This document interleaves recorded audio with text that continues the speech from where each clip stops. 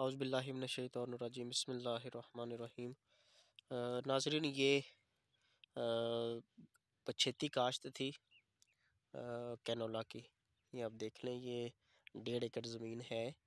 इस पे हमने पछेती कैनोला काश्त की थी और इसको तकरीबन हमने काश्त जो किया है वो नवंबर की यकम यकम या दो को, इस डेट को किया है। तो उसके बाद मसला ये बना गया इसमें पहले हमने राया का, राया की फ़सल काश्त की थी, जो कि पिछले साल काफ़ी ज़्यादा इसमें उसका बीज गिर गया था। तो जिसकी वजह से इस दफ़ा इसमें हमने कैनोला काश्त की है तो वो अब इसमें परेशानी की बात यह है कि इसमें समझ नहीं आ रही अब कि इसको क्या करें।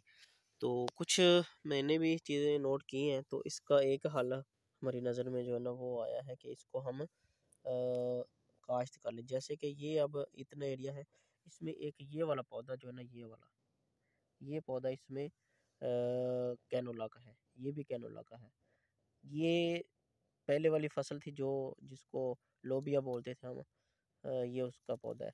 और इसके बाद ये वाला राया का पौधा है। राया का पौधा और कैनोला का पौधा, इसमें फ़र्क ये है कि इसके पत्ते, ये देखें ये इसके पत्ते थोड़े से कुछ और तरह के हैं।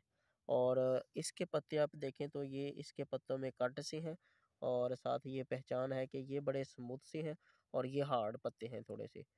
देखने में पता चल जाता है क्योंकि शुरू में नहीं पता चल रहा था, अब जब इसके तीन से चार पत्ते निकल आए तो अब इसमें पता चल रहा है।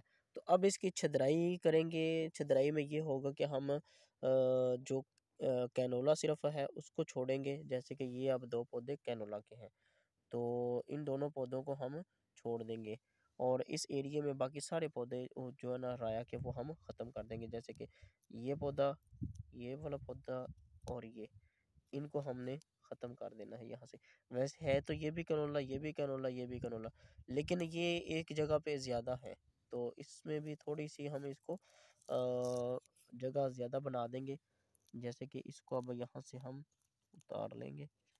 ये देखें अब ये वाला पौधा भी एक आ, हमारे पास कैनोला का है। ये पौधा है तो बड़ा अच्छा लेकिन ये इसको हम उखाड़ देंगे क्योंकि ये राया का है।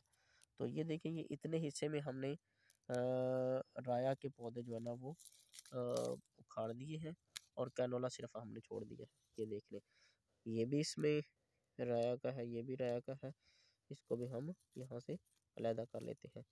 तो ये आप देख लें कि थोड़ी सी मशक्क़त वाला काम तो है लेकिन ये है कि अगर आप ये हो जाएगा ना तो इसमें काफ़ी हद तक इसको छतराई जगह भी सारी अलहदा से मिल जाएगी और ये पौधे अच्छी तरह ग्रोथ करेंगे। जैसे कि ये भी अब कैनोला का है। एक कैनोला का पौधा ये रह गया, एक ये रह गया, एक ये और एक ये।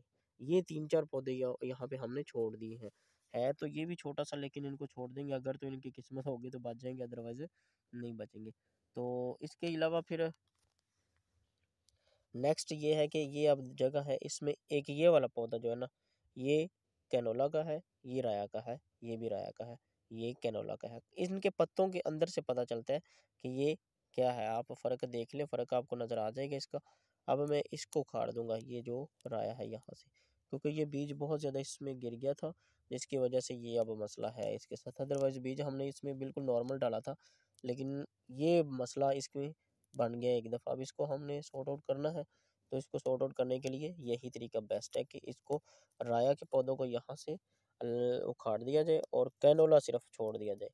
तो ये देखें जी, ये कैनोला का पौधा एक रह गया, ये रह गया और ये इतनी जगहों में मैंने ये सारी चीज़ें ये वाले पौधे हमने छोड़ दिए हैं।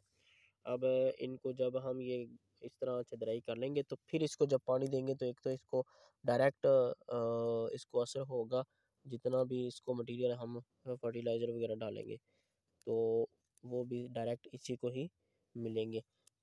अदरवाइज़ ये इसको ज़्यादा मिलेंगे। ये देखेंगे अब इतनी जगह में से ये सारे पौधे हमने छोटे छोटे थे, ये राया के हमने अलहदा कर लिए हैं।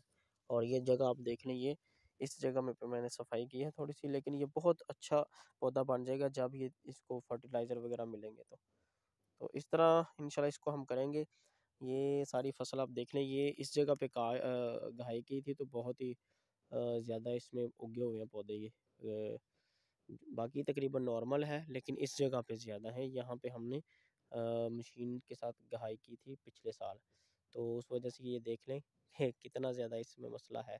बाकी ये अब धूप इंशाल्लाह ये जिस तरह की लग रही है, इस तरह की धूप लगेगी तो ये मज़ीद इसके पत्तों में निखार पैदा हो जाएगा, ये इसको पहचान करना आसान हो जाएगा। तो ये हमारे लिए इजी होगा इसमें से राया और कैनोला के पौधों को अलहदा करना। तो असल हमने राया ही तैयार करनी है। राया की जो है ना वो आ, हमने काश्त किया है एच सी ज़ीरो इक्कीस बीज जो था ये वालों का। तो इनशाला इसमें देखेंगे कि क्या आ, इसमें पैदावार का हिसाब रहता है। दूसरी फ़सल अगेती को तो माशाल्लाह बड़ा अच्छा एक्सपीरियंस रहा है। अगेती तो हर फ़सल ही अच्छी रहती है। जो पछेती होती है, उसमें मसला होता है। तो जैसे जैसे हम पछेती की तरफ़ जाते हैं तो पैदावार में भी कमी होती जाती है। लेकिन इन इसमें देखते हैं, इसको हम जो भी खादे वगैरह डालेंगे वक्ता फ़वक्ता आपके साथ शेयर करेंगे। इजाज़त दीजिए, अल्लाह हाफिज़।